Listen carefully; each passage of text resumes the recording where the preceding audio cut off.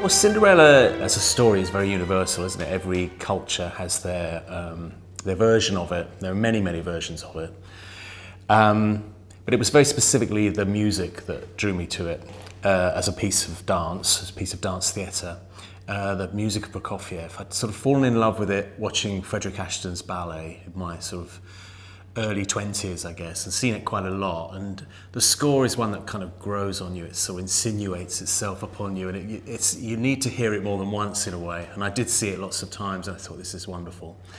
Um, so when I did get the opportunity to be able to create a piece of my own based on that music, um, having just done Swan Lake actually, in the history of my company, it comes just after Swan Lake, two years later. Um, I knew I had to do something different. Uh, people were sort of expecting it. They would have been surprised if it had been a straightforward version. Um, so I did a little bit of research and started reading around uh, its creation and uh, read that it was written during the Second World War um, and premiered just after at the Bolshoi and then a couple of years later in London with Ashton's version. Um, and that really set me off on a path that uh, made me want to listen to the music in a different way. I, I listened to it with different ears, with that era in mind, because there is a, a sense of darkness in it and a, a, sense of doom, as well as all the magic and all the, uh, the fairy tale uh, magic that you expect from it. It's definitely a piece that allows uh, an audience to feel for the characters, understand their journey. The other thing that I think Matthew's version does very well is allow you to listen to the music um, and hear the darker shades of it. There were tones of um, darkness that often are not shown in the traditional ballet. I think the, the period is very much reflected in the music uh, to the point where it just was like uh, a revelation listening to it again, where it all sort of fell into place. The, the idea of Cinderella uh, as this sort of movie fan young girl who dreams of uh, escape from her horrible family, as is in all versions of Cinderella.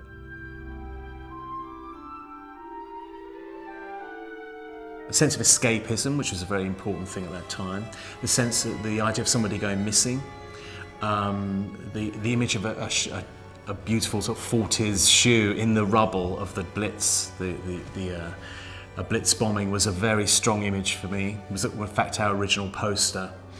And people falling in love very quickly, people not knowing whether they were going to live for a, another day, a week, a month, a year, whatever it may be was a great uh, part of this story that seemed to make a lot of sense and, and people getting lost and finding each other.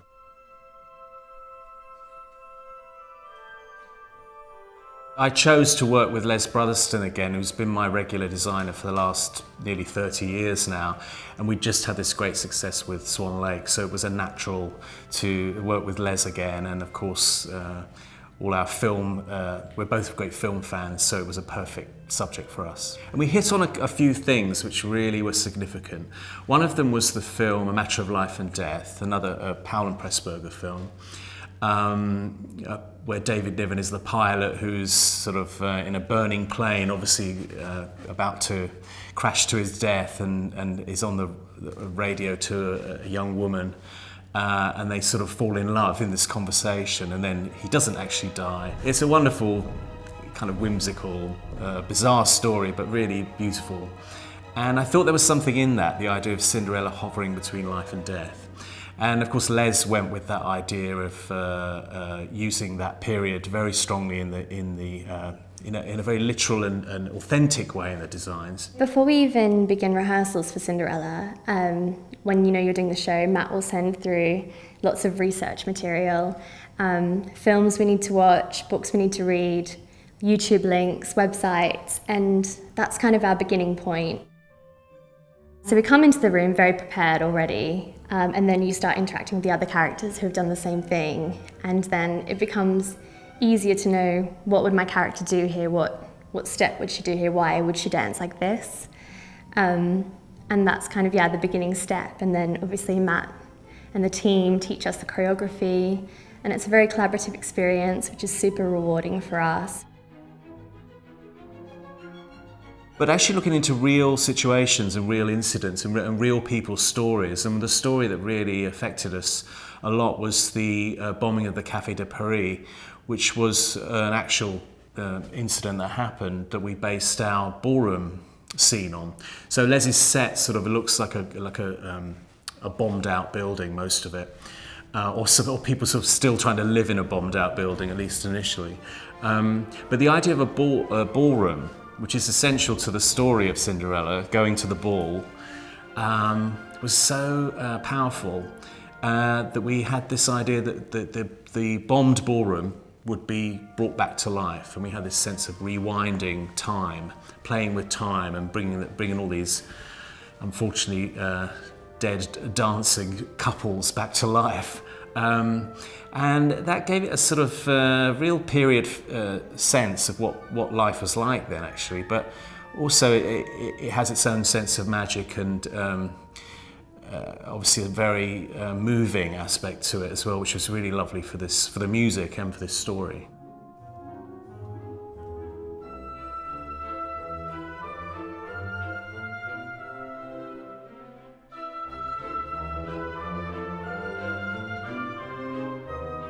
To go with the, the flow of the time differences and the, um, the, the, the, playing with reality and um, dreams is very significant in the piece, more so than in the usual story of Cinderella.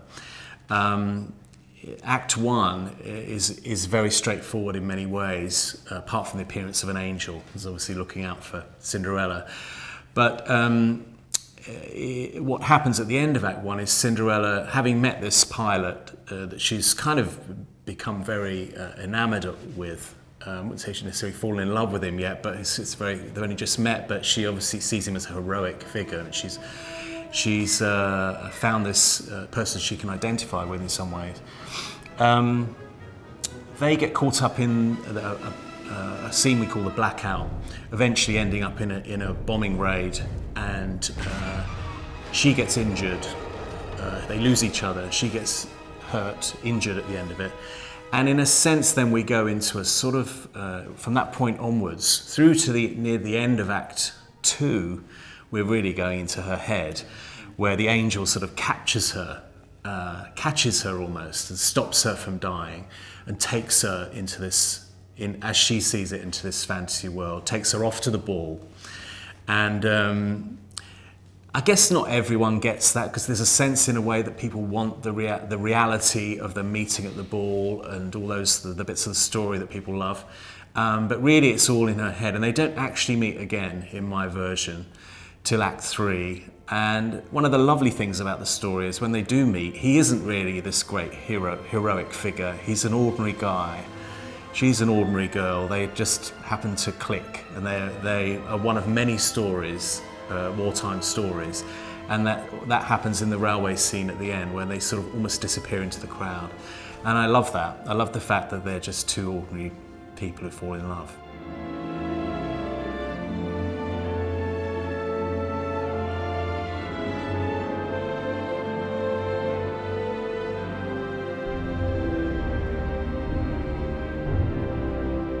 What I wanted to do with the character of Cinderella is not make her too downtrodden, too much of a victim.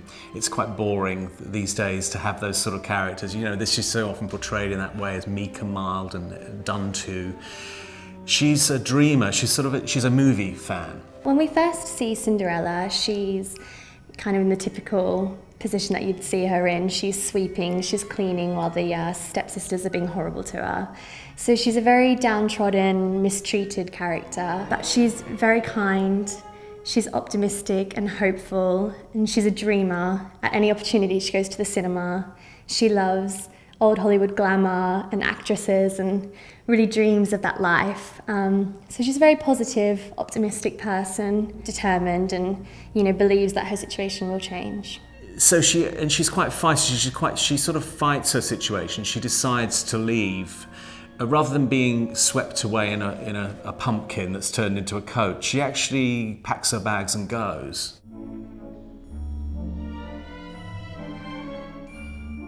A duet that everyone loves in this piece is the dummy duet, as we call it. Um, and it was very much designed to um, create more for the, the dancer playing the character of the pilot, Harry. So he makes this early appearance. She meets him before the ball, and then she imagines her brother Malcolm's tailor, he's a gentleman's tailor, I think, and uh, she imagines this uh, dummy as uh, the pilot, Harry, who she's just met. And we do a little nifty switch, and it becomes uh, the, the, dancer playing that role. And they do this duet where they're sort of dummy-like, and um, it's fun, and it's um, but also gives him a lot to do in, in Act One as well. Um, but that's quite nice because it shows her sense of fantasy and her sense of, of playfulness and the fact that she can rise above things in her in her situation and she has these sort of little whims of fantasy and it does sort of lead you into other other fantasies that she has later on. Harry the pilot uh, is quite an interesting character because he has two sides of him that you see. Um, so there's the reality side uh, and then there's the fantasy side. So the reality side you see this uh, RAF pilot who's wounded, going through uh, PTSD, um, very lonely, very damaged. And then you have this fantasy side of him that Cinderella conjures up, uh, which is this Hollywood style leading man, everything that she thinks a man should be. So it's really nice to get to play with those two uh, different sides of him, really. Dancing with Ash is fantastic. Uh, she's one of those artists that's so present um, but then also has this consistency that I've I've never known before, and so you kind of you always know what you're going to get physically, but you get this uh, real emotional connection every time you do it, which makes it different and keeps it fresh when we do a long tour, or you get this kind of relationship that you build up uh, over the shows, which is really wonderful. We sat down a lot during rehearsals to discuss our characters and which way we wanted it to go, and you really bond and develop a friendship as well as a partnership for on stage. Um, but he's such a brilliant person to work with and he's so special and I think that hopefully really comes across. I decided to go for a much larger step family and it, it was I've thought about this in while. People say, why are there so many characters? You know, and when we first did the piece, we didn't begin the way we do now. We began with a lot of characters all there at once, and everyone was very confused. When I came to revive the piece, I realized that people wanted, at the beginning of the piece, they want to see the two sisters and Cinderella with a broom. That's what they wanted to see. And that's what we give people now at the beginning of the piece, briefly. And then we start to introduce these other characters. And I think it makes for a richer piece. Sybil is uh, Cinderella's stepmother. Um, we made some decisions about her background and decided that she was maybe a dancer to start with, moved into acting, um, probably had quite a successful career. But when we meet her in the show, she's at a quite low point. Um, probably her career has um, slowed down and she's had lots of husband um, and lots of uh, children. Um, as a result, she's very resentful.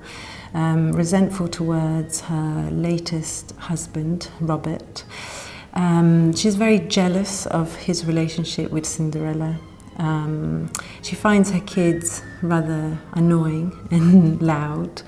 Um, and she's um, finding comfort in drinking. Um, she's quite evil, but I think is also the fact that she's very vulnerable inside. So I would say resentful, jealous, um, cunning, um, plotting, and um, also very glamorous. And she can appear calm, elegant, uh, but underneath there's a lot of um, anger. Some people still find it's a, a, a too many characters, but um, I think they're fun and I think they, they add something different. You get Malcolm, who's the sort of camp brother, who has this nice little story that runs through the piece where he meets uh, uh his sister's boyfriend, who's an American GI. Out of time, we know, viewers. we know we're a year too early at least. Um, but um, that little story is very nice. It's a very nice story of, of them getting together through the piece, and it's very touching actually by the end. And I, I actually like the idea of a family that, um, apart from stepmother, who sort of remains a, a lost cause, is that they all change during the piece. When you meet them again at the, at, at the last scene in the railway station, they've changed. They've become more, through her and through the story and through the wartime experience, uh, they've all become more nicer people, more caring people, and they, they end up as a family. The role I play is the angel. It's great because as opposed to the character being like a fairy godmother kind of role in the classical version, it's um, he's obviously played by male, and he, he's more of a guardian angel in um, in Matthew's version, and um, he's he's a very strong character and um, almost as um, acts as a father figure to Cinderella.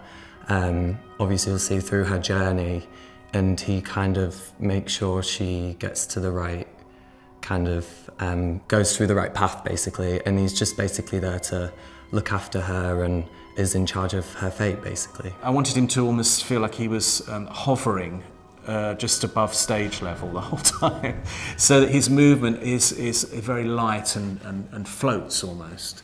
Um, he's also, interestingly, and this came about through uh, making the piece, he's not always an angel of for good.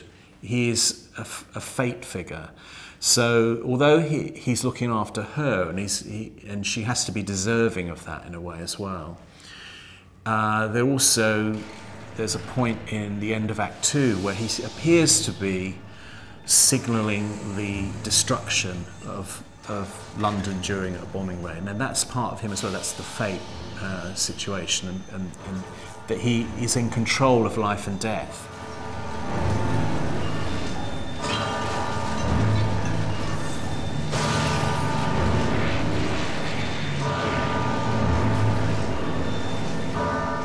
one of the elements that's often forgotten by people coming to the theatre or, or, even seeing a film of, of, a theatrical production is the lighting, which uh, Neil Austin did for us with this particular show. Uh, he's done an amazing job in, in capturing uh, not only the, the, period feel, but also the, the, sense of fantasy and the sense of um, uh, within the reality of that, that uh, bombed out London setting.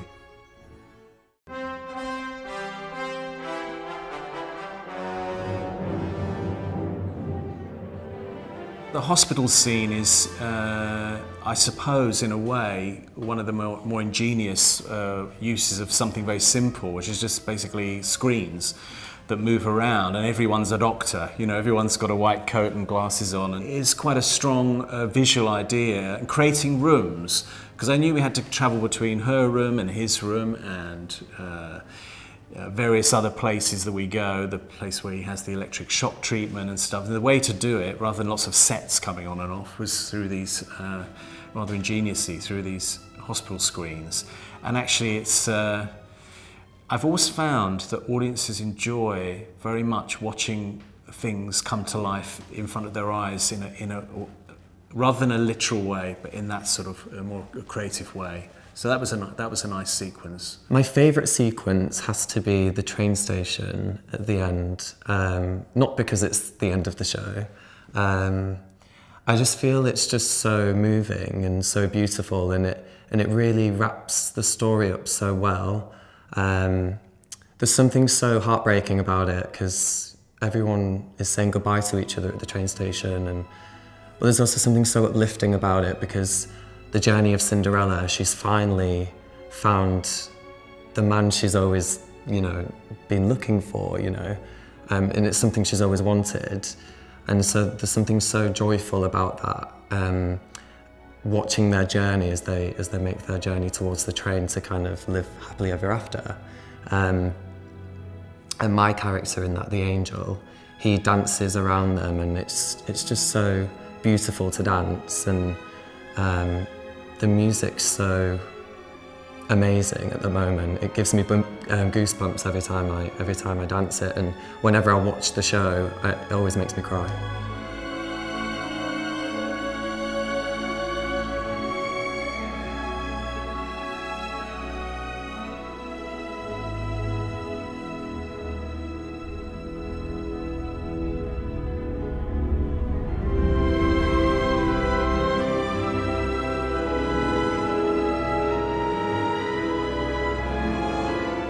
It's interesting with this Cinderella because because it's called Cinderella.